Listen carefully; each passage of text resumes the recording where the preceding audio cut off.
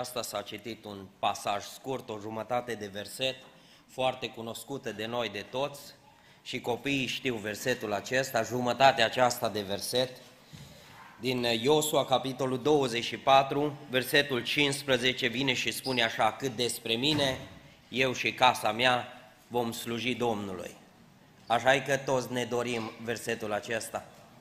Îi vreun familist, care să nu-și dorească și să nu aibă motou pentru el, pentru casa lui să nu aibă motou versetul acesta? Știți că să-l cumperi versetul ăsta e de la 16 lei în sus. Am văzut la multe familii în case pus, m-am uitat și eu pe net să văd cam de la cât pleacă tablourile cu versetul ăsta, de la 16 lei. În, fie, în funcție de cât vrei de mare, tot crește prețul. Dar știți, să-l scrie, să ți-l scrie cineva și să-ți dea tablou, nu costă mult, costă puțin. Dar ca să trăim versetul acesta, știți cât costă? Enorm. În Vechiul Testament, de fapt în toată Biblia, dar în Vechiul Testament, un singur om s-a putut să se, a putut să se ridice în picioare și să spună, eu și casa mea vom sluji Domnului. Așa cum în Noul Testament un singur om s-o putut ridica și să spună călcați pe urmele mele, căci eu calc pe urmele lui Hristos. așa e că grele versetele astea. E greu de rostit că nu știi ce face copilul la școală, mă. Nu știi cu cine s-a înhăitat. Ai vrea să-l spui. Ar vrea să-l rostești, dar nu știi ce prieteni are, mă. Nu știi. Și totuși, întrebarea asta vine, cine poate rosti versetul acesta, cât despre mine, eu și casa mea vom sluji Domnului. Cine îl poate rosti? Îl pot rosti aia fără copii, așa -i? Că e ușor să rostești când ai copii, să rostești, casa mea slujește Domnului. Că n-ai copii. Poți rosti versetul ăsta foarte ușor când îți copiii mici, așa -i?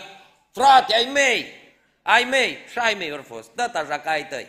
Domne, mi-a zis unul, o născut nevastă sa, el are vreo spre 50 de ani, și zic, cum îi frate copilul? Zice, frate, nu scoate o boabă, dormim toată noaptea. Dar cât are? 10 zile. Stai, domne, să crească, stai, la 10 zile. Nici ai mei nu știu exact pe ce lume sunt, nu? așa -i? Domne, toți liniștiți, toți, când sunt copiii mici, da? Ai metodele să-i spui, trece în mașină, la biserică, nu? Trece în mașină, treci la rugăciune, treci la cântare. Frate, noi ne rugăm. Dar care sunt metodele, nu? E greu de rostit.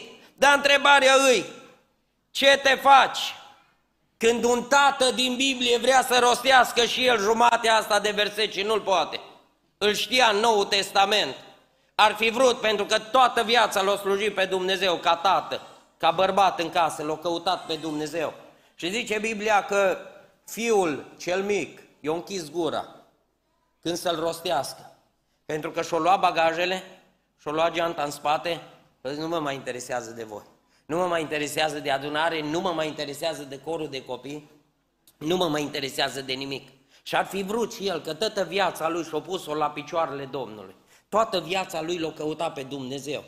Și-o dat avuția, averea, au pus-o la picioarele Domnului. Și zice în Luca 15 că fiul, de fapt amândoi erau risipitori. Numai unul risipea în casă, altul risipea, risipea afară. Și tatăl și-ar fi dorit și el tare mult să spună și el și eu cu casa mea cu ăștia doi, că n-am numai doi, dar cu ăștia doi îl slujim pe Dumnezeu. Și într-o zi copilul închide gura și nu mai poate rosti versetul acesta. Ce te faci? Ce poți să-i spui la Samuel, care l-a slujit din copilărie pe Dumnezeu? Când la finalul vieții se ridică poporul în fața lui și spune, Samuele, tu ești bătrân, Știi că nu l-au durut cuvintele astea pe Samuel că i-au spus că e bătrân? Nu-i problemă. Vă dau un sfat, niciodată nu-i spui la o doamnă că îmbătrânit. La bărbat spune că îmbătrânit, nu se supără. Nu să-i spui, bă, ce ori trecut ani peste tine și peste mine, nu se supără, dar niciodată nu spui la o doamnă ce ori trecut ani peste tine, pentru că se supără. Samuel nu s-a supărat. O venit poporul și a zis, Samuel, tu ești bătrân, ești bătrân. Și nu s-a supărat, nu l-a durut. Dar poporul a continuat și a zis, și fiii tăi nu calcă pe urmele tale. Câtă durere a fost în inima lui Samuel după ce l-a slujit pe Dumnezeu din copilărie. După ce și-a dedicat toată viața lui Dumnezeu și slujirii poporului, copiii lui cresc mari. Apropo, copii, ascultați-mă, că vă las după aia în pace. Așa, uitați-vă la mine. Nu și ai mei să, uite, să uite la mine, mulțumesc. Cea mai mare durere a unui părinte, știți cine o provoacă? Nu poporul, nu biserica. Știți cine? Copiii. Nimeni nu poate, unii din voi aveți părinții slujitori. Nimeni nu le poate închide gura mai tare de cum le închideți voi prin neascultare. De aceea știți ce aș vrea? Ascultați pe părinții voștri. Ca ei să poată predica, să poată sluji pe Dumnezeu, să nu li se frângă inima, să nu le fie inima călcată în picioare. Slujiți pe Dumnezeu. Ascultați părinții și iubiți pe Dumnezeu și Dumnezeu vă va binecuvânta. Slăviți să fie numele Domnului. Samuel a avut cele trei oficii, a avut cele trei funcții în Israel. A fost judecător, a fost preot și a fost, a fost proroc. Toate trei funcții era în legătură cu Dumnezeu. Și totuși într-o zi, în casa lui se întâmplă tragedia, că poporul vine și spune copiii tăi, tu ești un om extraordinar, tu ești un slujitor adevărat. Știi ce dureros? Când ai pe cineva în casa ta care îl slujește pe Dumnezeu, nu știu cine ești și cum de-ai venit la, la biserică în dimineața asta, poate ai venit cu una din familie. Știi ce e cel mai dureros? Când ai pe cineva acasă care strigă înaintea lui Dumnezeu și tu ești tu cu țigare în gură, tu ești cu uh, pachetul de țigări în buzunar, tu ești cu băutul, cu drogul, cu mizeria ta și ai pe cineva, nu-i durere mai mare, nici sărăcia, nu te îngenunchează. Cum te îngenunchează să știi că ai pe cineva plecat în lume. Ce îi spui la o femeie, la o soră, care are copil în lume, care îi văduvă poate, care are bărbatul nepocăit și copilul în lume? Ce îi spui? Că ar vrea și ea să rostească versetul ăsta. Ar vrea și ea la un moment dat să spună, dar și eu cu casa mea îl slujesc, vreau să-L slujesc pe Dumnezeu. În dimineața aceasta, știți ce ar vrea? Să ne uităm în casa lui Iosua, să ne uităm în casa la bărbatul acesta și să vedem ce a făcut omul acesta. Eu putut într-o zi și știți ce e interesant? Iosua se ridică la finalul vieții, în ultima predică a lui, spune, spune cuvântul acesta. La final de viață spune, când ăștia erau puternici copii, când erau cu mașinile lor, cu businessurile lor, se ridică bătrânul și copiii nor zic, oare ce scoate tata pe gură acum? Iar să nu ne facă de râs ceva. Nu, o să vedeți imediat de ce copiii lui s-au ridicat și s-au încolonat după el și l-au ascultat. De ce? Samuel, ă, Iosua, a fost persoana care și-a dedicat viața lui Dumnezeu. A fost persoana care ce-a spus, a făcut, pentru că omul acesta a știut să trăiască cu Dumnezeu și lucrurile acestea, versetul acesta îl spune la finalul vieții. Știți ce îmi doresc? Toți, la bătrânețe, să ne uităm în urmă și să spunem mulțumim lui Dumnezeu că ne-a ajutat cu casele noastre să-L slujim pe Dumnezeu. Mărit să fie numele Domnului. Primul lucru, și în dimineața aceasta aș vrea să vorbim despre un tablou al binecuvântării. Un tablou al binecuvântării. Ce a făcut uh, Iosua în, în momentele acestea ca să poată spune, eu și casa mea slujim Domnului? Primul lucru, el cu familia lui, ori fost o familie de impact în generația lui. Ori fost o familie, Iosua, a, fost o fam- a avut o familie de impact în generația lui. Știți că toată lumea caută să influențeze, de fapt. Toți influențăm în jurul nostru. Unii influențăm negativ, alții influențăm cum? Pozitiv. Iosua cu familia lui era cel care influența pozitiv în jurul lui. Știți că acum, ca să influențezi, ca predicator, dau un exemplu acum, da? Că mâine seara avem seară de tineret. Ca cei la mod acum. Domne, să fiu un predicator așa la blugi, dacă s-ar putea și două rupturi pe blugi, să mestești gumă și dacă s-ar putea reflectorul să bată numai pe tine și așa să te fâțăi, să te miști, să ăsta. Zici, domne, ăsta are impact, ăsta e urmărit, ăsta e, să-l aducem și la noi. Iosua nu se fâțâia dintr-o parte într-alta. Ăsta n-avea treabă cu, cu cum mergea stilul lumii. N-avea treabă ce importuri se aduceau de afară. Ci omul acesta, ca să poată influența împreună cu casa lui, știți ce au făcut? s-au apropiat de Dumnezeu. Și au zis ce sfaturi dă poporului și sfaturile acestea erau spuse în auzul copiilor lui, a familiei lui.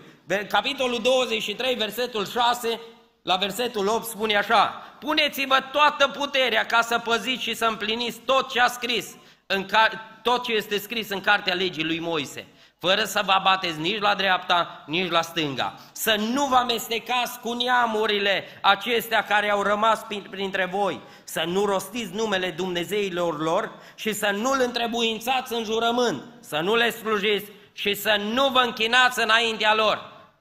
Știți ce face Iosua? Este omul care spune, băi, pe noi nu ne interesează ce biserici s-au deschis. Din astea de impact, din astea așa puternice. Pe noi nu ne... N-are nicio legătură asocierea cuvântului. Nu vă gândiți, vă văd că zâmbiți. Iosua este cel care nu interesa cei pe lângă. El interesa ce se întâmplă înăuntru. Și spune, noi avem o singură șansă. Ne dezlipim de ei, ne dezlipim de popoare, ne dezlipim de mersul lumii și zice, noi ne alipim de Domnul. Zice versetul 8, ci alipiți-vă de Domnul Dumnezeul vostru. Vrem să fim o generație de impact. Vrem să fim o generație care să influențăm în jurul nostru. Știți ce trebuie să facem? O zis Iosua, păziți și împliniți cuvântul lui Dumnezeu. Dar ca să-l putem păzi și împlini, știți ce trebuie să facem? Să citim cuvântul lui Dumnezeu. Să mă iertați, familii care ați venit cu copiii. Dar să știți, în generația tânără, familii tinere n-au nicio treabă cu cuvântul lui Dumnezeu. Mol, concedii, poze, like-uri, ăsta e la modă. Știți ce spune? Păziți și împliniți cuvântul lui Dumnezeu. Dacă vrem să avem o viață de biruință, să avem o casă a biruinței, știți ce trebuie? Să ne apropiem de cuvântul lui Dumnezeu.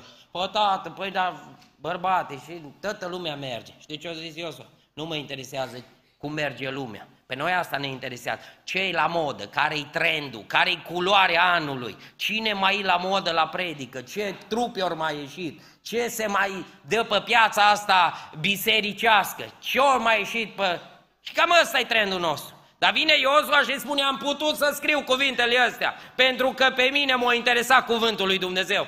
Nu-i la modă să fii interesat de cuvântul lui Dumnezeu. Nu-i la modă să te apropii de cuvântul lui Dumnezeu. Nu-i la modă să vii la rugăciune, dar vă spun, e singura șansa noastră de a avea biruință în fiecare zi, alipirea de Domnul. Să ne ajute Domnul să ne alipim cu inima de El. Măriți să fie numele Domnului. Le spune Iosua, nu vă amestecați. Știți ce înseamnă nu vă amestecați? Nu vă murdăriți cu popoarele în care veți ajunge. Nu vă murdă, nu vă amestecați. Întotdeauna între biserică și lume o trebuie să fie o diferență. Totdeauna între familiile din casa lui Dumnezeu, care au trecut râul, care au or fost mulți din, din uh, uh, împărăția întunericului, au trecut prin râu, au trecut prin apă, au fost schimbați. Trebuie să se vadă diferență între familiile noastre și cele de afară. Să ne ajute Domnul să se vadă diferența, să nu ne amestecăm, să nu ne murdărim. Zice, nu le rostiți numele Dumnezeilor lor. Nu vedeți că noi toată ziua căutăm de la muzică, Domnul, vezi, tânăr, 13 ani, 14 ani. Îi cu... Am intrat odată la cineva în mașină, un băiat, numai ce se botezați. Cânta guță la el în mașină. Bă, zic, dar ce? A, zice, am uitat casetă, CD-ul, ce avea acolo. Dar avea stick, avea stick. Păi zic, mă, omule, dar tu ai... Dar uitați-vă, că vrem biruință, după aia, frate, roagă-te pentru păstorul, ă, slujitorii. Dar uitați-vă ce adunăm în spate. Că noi asta nu le spunem, frate, eu sunt vinovat, că eu sunt plin. Eu asta am tras cu greb la viața mea. Am tras numai muzică de hip-hop, am tras numai rock Și eu vin că nu, mă, nu mai pot dormi noapte. Deci au venit eu să auzi, nu veniți la rugăciune. Că știi ce trebuie să scoți? Tu te-ai, ți-ai murdărit creierul, ți-ai murdărit mintea cu muzică, cu Dumnezei străini. Și după aia vii și pui pe altul, frate, n-ați putea șapte bărbați să postiți pentru mine. Dar de ce? Pentru că tu l-ai ascultat pe nu știu care? Pentru că tu ai rostit numele Dumnezeilor străini? Pentru că ai vorbit tu ca și copil al lui Dumnezeu, ai vorbit ca și cei de afară? Nu a mai fost o diferență între cei de afară și între cei dinăuntru? Știți ce-a căutat Iosua? Întotdeauna el când și-a alipit inima de Dumnezeu și-a adus aminte de biruințele care i le-a dat Dumnezeu. Totdeauna diavolul va veni să ne înfrângă, să ne spună că Dumnezeu ne-a părăsit. Că Dumnezeu nu mai e de partea noastră. Știți ce și-a adus în momentele grele Iosua? Și-a adus aminte de biruințele care i le-a dat Dumnezeu. Și-a adus aminte când l-a trimis Moise, împreună cu alți 11, să-i scodească țara Canaanului. Și când s-a întors de acolo, n-avea majoritatea de partea lui. O zis, băi, noi suntem numai doi și ăștia la sunt împotriva noastră. Ce ne facem? Știți ce au făcut? S-a lipit de Dumnezeu, s-a lipit de Dumnezeu cu toată inima. Și știți ce spune Dumnezeu despre Iosua? Despre Caleb spune, ăștia doi, în ei au fost un alt duh față de ăștia alți din mulțime. Domne, acum nu mai e la modă să te rogi lui Dumnezeu. Acum e la modă să ai planificări, planuri, strategii. Cum să faci să funcționeze? Vrei să funcționeze? Dumnezeu dă biruința. Ne alipim de Dumnezeu și Dumnezeu are planul făcut. Noi îl încurcăm pe Dumnezeu cu planurile noastre. Noi îl încurcăm pe Dumnezeu cu ideile noastre. Cam așa ar trebui. Știți ce ar trebui? Să ne întoarcem și să ne alipim de Dumnezeu. Pentru o viață de biruință în familiile noastre, e nevoie de alipire de Dumnezeu. Când ai un alt duh în tine, Știți că nu caut să-l impresionez. De exemplu, Iosua niciodată nu căuta să-l impresioneze pe, pe Moise. Să zică ce o zis de mine, cum, îi place de mine. Și știți că Iosua a fost un tânăr care e, avea diferite handicapuri, dacă le pot numi așa. Domne, parcă cam timid, cam așa, nu avea cuvintele la el, se roșa, îi venea să plângă și parcă nu era așa bățos, domne. Uitați-vă că pe tânărul ăsta, care era cu diferite slăbiciuni, cu diferite scăzăminte, zice Dumnezeu, măi, eu pe tine te iau. Eu pe tine te iau că vreau să te pun lângă Moise. Eu cu toate slăbiciunile tale, eu vreau să te prelucrez pentru că vreau să te folosesc ca aceea lângă, lângă uh, Moise. Niciodată Iosua nu a căutat să fie văzut în fața lui Moise. Știți ce a căutat? Întotdeauna ceea ce face să fie glorificat numele lui Dumnezeu. Când au venit din țara Canaan, el a adus vești și l-a arătat pe Dumnezeu mare. Nu a încercat să zic, ai văzut Moise ce cât au venit strugurele la noi pe, pe spate, uite, ni s-a, ni s-a îndoit umărul cât am, cât am cărat pe struguri. Niciodată nu a arătat nimic de impresionat în fața lui Moise. Totdeauna au fost omul care a glorificat numele lui Dumnezeu. Noi suntem chemați în vremea aceasta și ce să facem? Să aducem onoare lui Dumnezeu.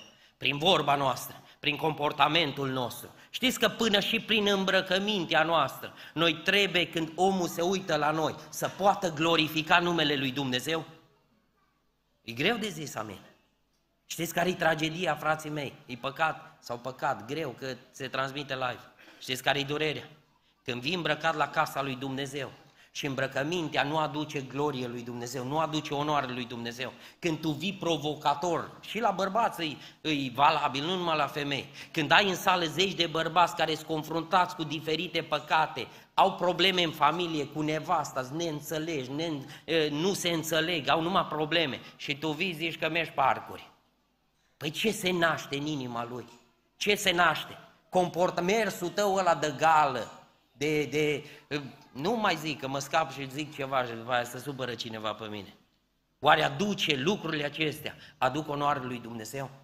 Nu cumva noi venim și vrem să ieșim în evidență, să fim văzuți, a cui suntem fata lucutare, nevasta lucutare. Ai văzut? Nevasta mea, nevasta, fata mea. Oare astea trebuie să, să fie între noi în viețile noastre? După aia, frate, avem probleme. Fata are probleme. Păi, dar dă filmul înapoi. Dă filmul înapoi să vezi cât s-a investit în imagine, în ceea ce vrem să arătăm.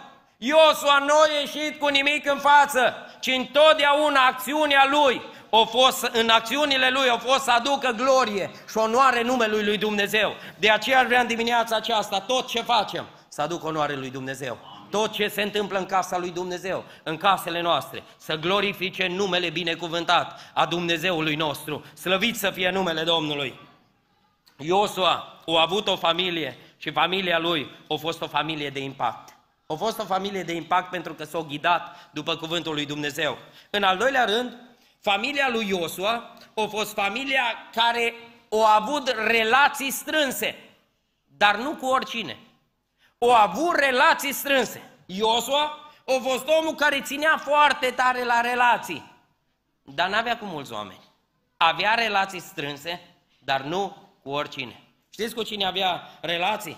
Avea relație strânsă cu Dumnezeu și cu oamenii lui Dumnezeu. Avea relație strânsă cu cortul întâlnirii și avea relație strânsă cu familia lui. Astea trei relații trebuie să le avem strânse. Uh, dar nu cred că e nimeni aici care... Am auzit vorbe din astea care spun așa, frate, e prietenul meu intim. Aveți din ăștia? Ați zis din ăștia? Nu, frate, suntem prieteni intim. Lasă, domne, stai liniștit, vezi de treabă. Iosua n-avea decât trei relații strânse. Domne, noi ne cunoaștem de 40 de ani, n-am fost dezlipiți, toate concediile le-am făcut împreună. Noi am fost, uite așa, ca două inele strânse, prieteni de o viață, din clasa 3 -a. Din clasa a treia până la 70 de ani, tă prieteni am fost. Iosua nu a avut treabă cu prietenii de genul acesta. El a știut cu cine să țină prietenia strânsă. Primul lucru, Iosua a avut o relație strânsă de prietenie cu Dumnezeu. Iosua a fost legat puternic de Dumnezeu. Dacă citiți toată istoria lui, nu o să-l vedeți niciodată implicat în uh, scandaluri în certuri, în din astea, în cine e mai tare, cine e Ios, tu ești, eu, schimb. Niciodată pe Iosua nu-l găsești în problemele lui Core. Niciodată nu s-a implicat, pentru că el știa chemarea nobilă care i-a făcut-o Dumnezeu, să stea lângă Moise. Totdeauna el a zis, eu nu mă implic în așa ceva. Nu-l găsești pe, pe Iosua la Mara, la amărăciune. Nu o să-l vezi niciodată că bea din apele amărăciunii. De ce? Pentru că el ținea foarte mult la relația aceasta care o avea cu Dumnezeu. Și uitați-vă că în momentul de necaz, în momentul de frică a vieții lui, Dumnezeu rămâne lângă el. Și dacă vrei să afișezi un verset frumos în capitolul 1, versetul 5, deci din Iosua, vine și spune cuvântul Domnului pentru că Iosua avea o relație puternică cu Dumnezeu, vine și îi spune așa, nimeni nu va putea să stea împotriva ta cât vei trăi. Eu voi fi cu tine cum am fost cu Moise. Nu te voi lăsa, nici nu te voi părăsi. Păi uitați-vă în relația strânsă cu Dumnezeu, în momentele de pericol, în momentele de răscruce, Dumnezeu își arată și își dovedește prietenia lângă oamenii săi. O zis Iosua, dar mi-e frică să intru. Nu te teme, cât vei trăi, nu se vor atinge de tine. De ce? Că ai știut să ții relație strânsă cu mine. Copii, vă mai spun ceva. Mai ascultați-mă un pic. Când veți vedea în casele voastre că părinții voștri vor slăbi relația cu Dumnezeu, să știți, casa voastră, aia frumoasă, din nu mai zic ce comună, aia faină, cu lumini pe afară, familia voastră intră în pericol. Când noi slăbim prietenia cu Dumnezeu și relația cu Dumnezeu, casele noastre intră în pericol. Iosu au putut să stea în picioare în fața Canaanului, trebuia să intre în Canaan și avea de înfruntat 40 de împărați și șapte popoare de eliminat, de dat afară, de făcut curat. S-o temut? Cum mă, că ăsta era timid, mă? Ăsta îl punea Moise și o să vedem imediat că Moise îl punea la punct. Moise îl zdrobea și nu zicea nimic, stătea acolo, tăcut și dintr-o dată curaj pe el. Dintr-o dată are puterea să dea la o parte 40 de împărați și șapte povoare. De unde? De unde puterea aceasta? Știți de unde? Din relația care o avea cu Dumnezeu. El s-o baza pe ce i-a zis Dumnezeu. Nu te teme atâta vreme cât eu sunt lângă tine. Contează că 10 împotriva voastră, nu contează că 40 de împărați și șapte popoare. Eu îți dau biruința cât vei trăi. Eu zis Dumnezeu, cât vei trăi eu voi sta lângă tine și voi fi cu tine. Știți ce îmi doresc? Cât trăim, să rămânem lângă Dumnezeu și Dumnezeu își va dovedi credincioșia față de noi și față de casele noastre. Iosua și casa lui au avut relații strânse cu Dumnezeu și cu oamenii lui Dumnezeu. Nu l-a interesat prea mult, domne, alianțe, să mă aleagă, să le placă de mine, ce zic frații de... Nu, el știa ceva cu Dumnezeu și cu Moise. O zis Solomon bine, Că cine își face mulți prieteni, îi face spre ce? Spre paguba lui, că ăștia te ridică în politică, nu? Tăți te-au ridicat și după aceea tăți ori dat cu tine de pământ. Când te-ai așteptat mai puțin? Dar uitați-vă că Iosua e omul care își alege bine relațiile. Ai grijă ce oameni intră în casa ta. Ai grijă în ce discuții te bagă, pentru că ăștia, ăștia mici, e ceva mai ceva ca radarele.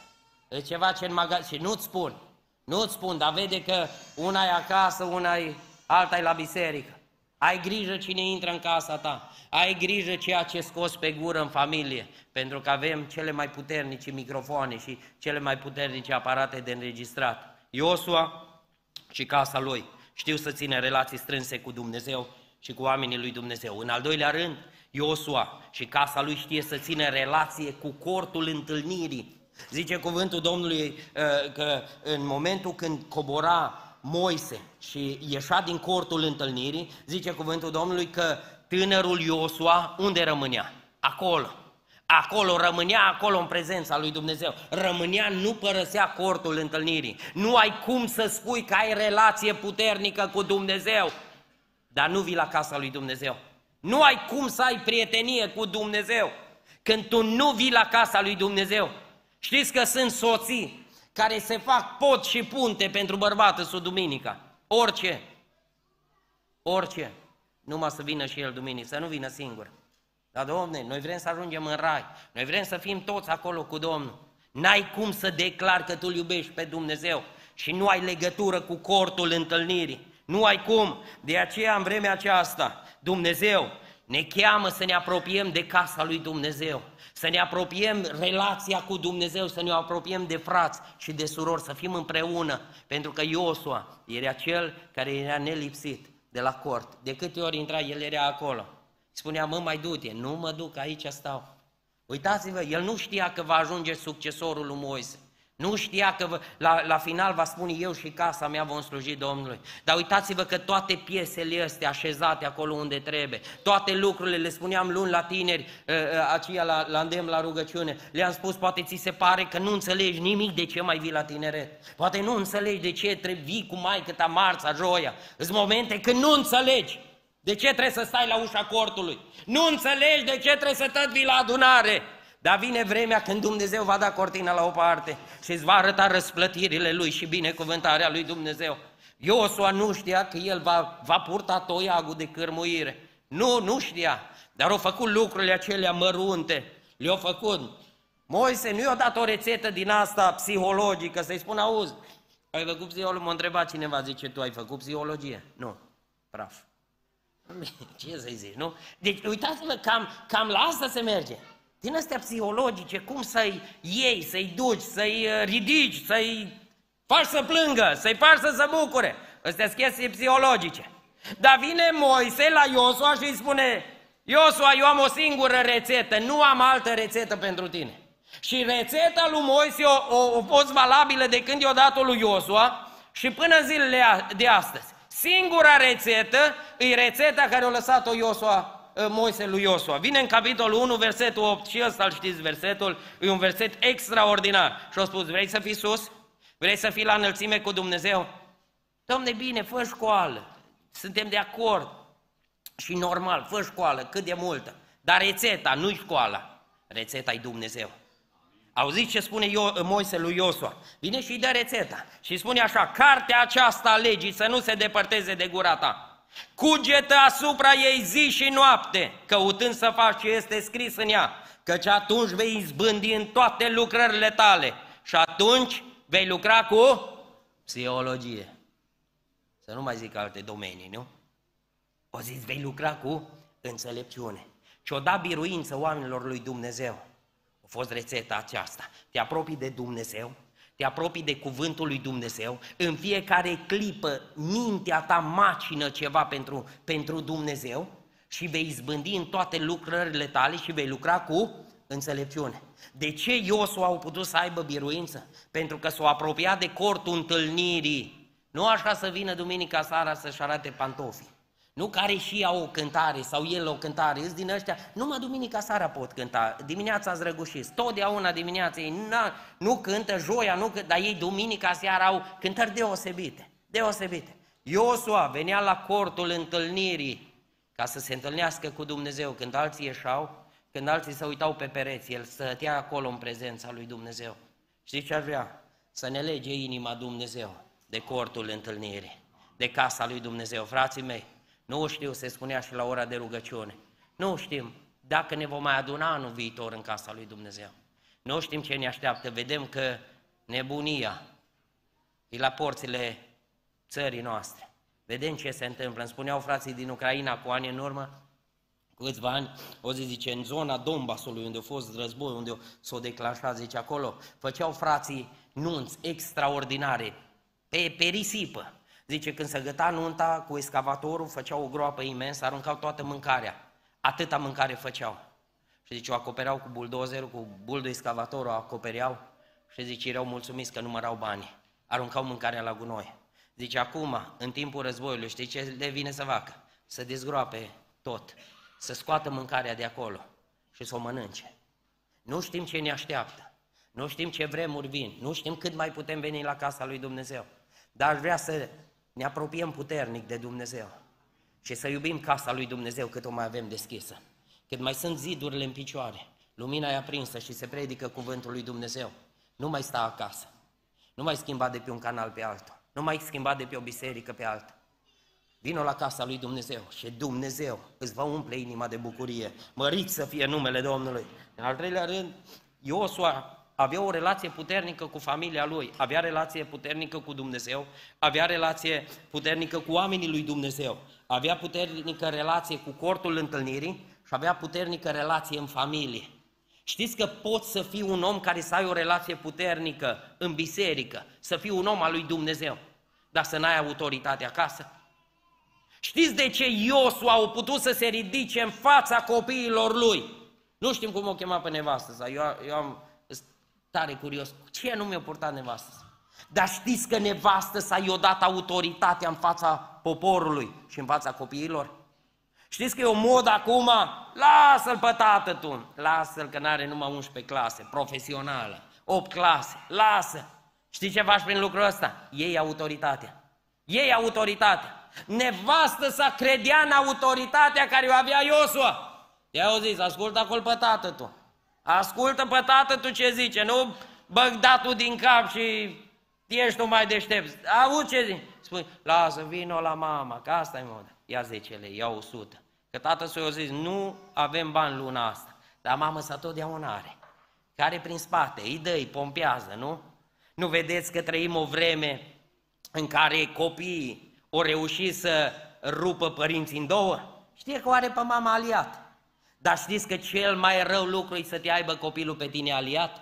Să fie aliat cu copilul și să nu fie aliat cu bărbatul? Pentru că Dumnezeu a zis că cei doi vor fi una. Nu au zis, tu pui scara și ea trage scara când să te urci pe ea, nu? Am cunoscut o familie în America, aveau pe tată sub bătrân 90 de ani. Și la 90 de ani, de la Bistrița, din, de pe Valea Someșului, era obișnuit cu tăieri, cu tot felul de, de scule din astea electrice, 90 de ani. Zice, mă, punea tata în priză, prelungitorul, și mergea în capătul grădinii, zice, vreo 100 de metri, să, să taie cu flexul, zice eu, când vedeam că a ajuns acolo, îi scoteam din ștecher. Deci s-a apucat, vedea că nu mere, iar venea înapoi, iar băga în priză, o credea bătrânul că a uitat să bage în priză, iar băga, zice eu, când îl vedeam cu ajuns, iar îi scoteam din priză și tot așa. Vă zic, dar de ce îl chinuiai omule? Zice, mi era frică să nu se taie cu flexul. Zice, el la 90 de ani mai avea de tăiat. Mai vrea să mai fabrice ceva. Să mai, să... Dar știți, Că și nu numai în America, și în România sunt familii din astea. Tata bagă în priză, mama scoate. Azi la coperi, pentru nota, mamă, nu mă zi.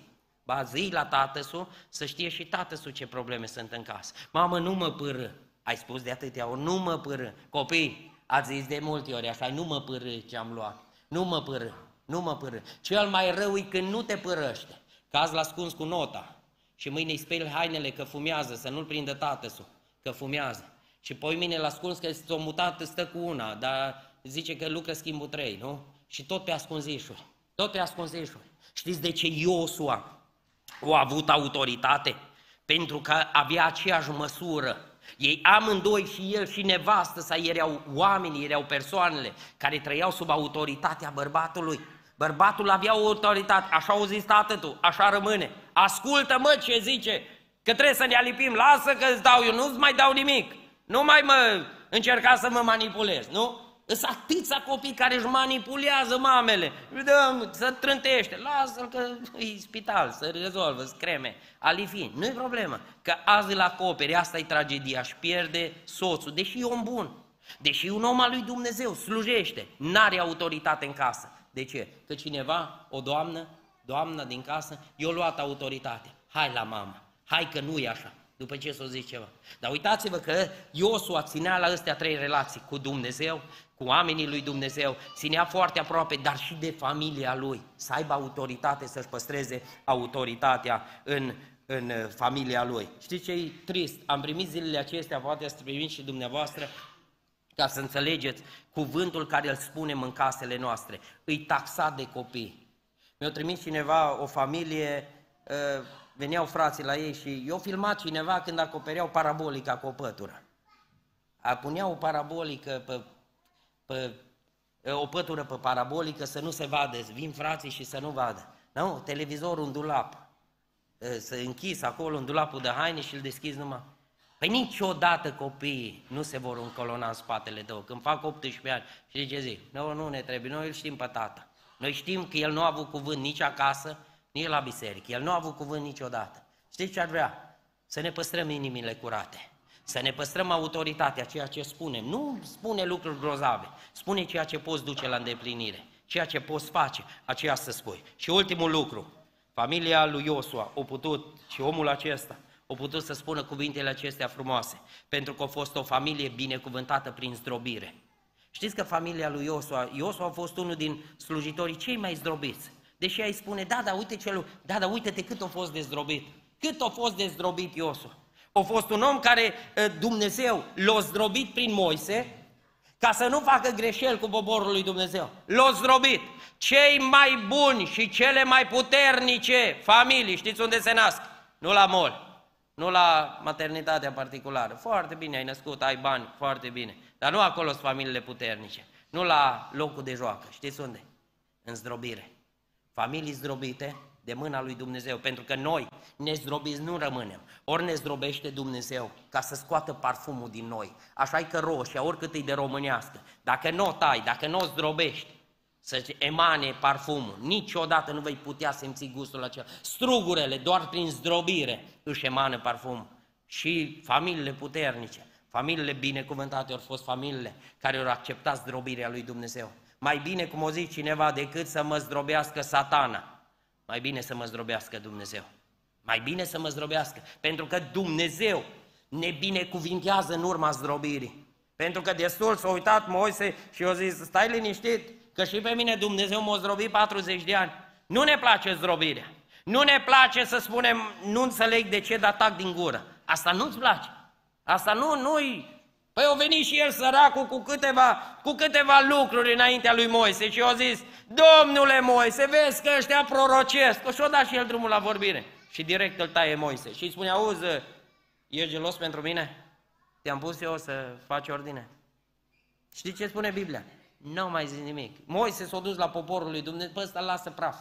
Praf, zdrobit. Domne, dar am încercat și eu să iau apărare. Am încercat și dir, direct îl taie. Și îi spune, nu fi gelos, lasă să prăbucească toți, lasă.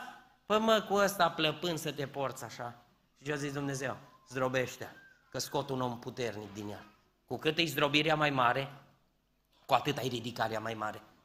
Dumnezeu îl zdrobește pe Iosua prin Moise. Vine cu, în Exod 32, vine vremea să, să coboare cu tablele legii. Înainte să primească tablele legii, Moise stă pe munte 40 de zile. Știți unde stătea Moise? Ă, Iosua, acolo lângă el.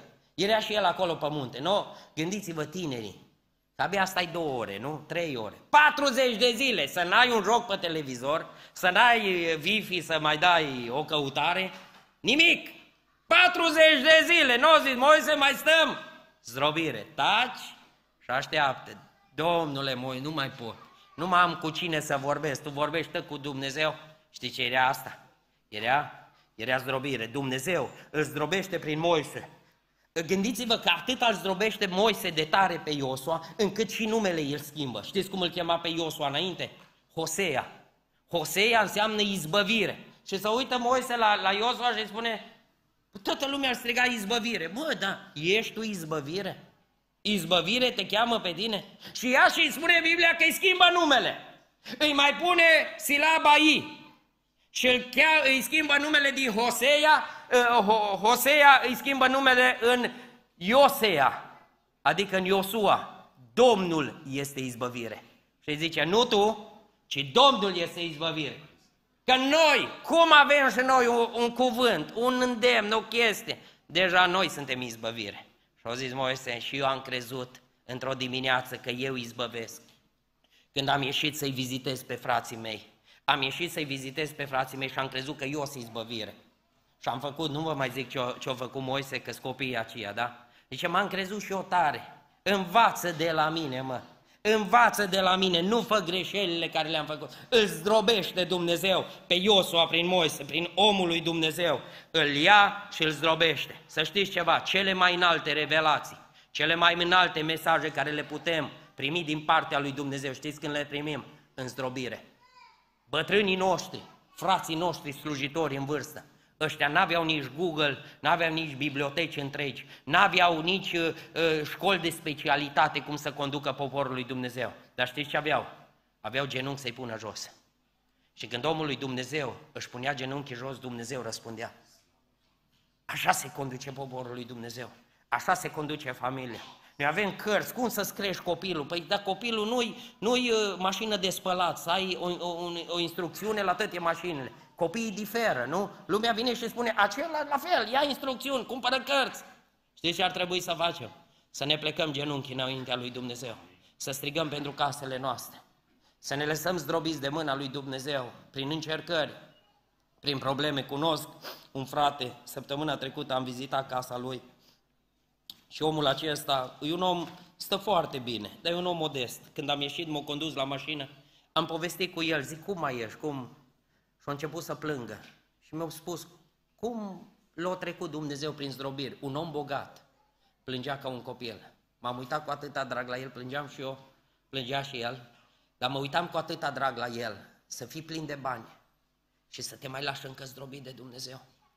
Să știi ceva, când Dumnezeu te zdrobește, El are pregătită binecuvântarea pentru tine. Știi ce îmi doresc? La capătul alergării, nu mai spune, eu nu pot, casa mea nu poate. Pentru că o lumânare, spunea cineva, poate aprinde mii de lumânări, o singură lumânare.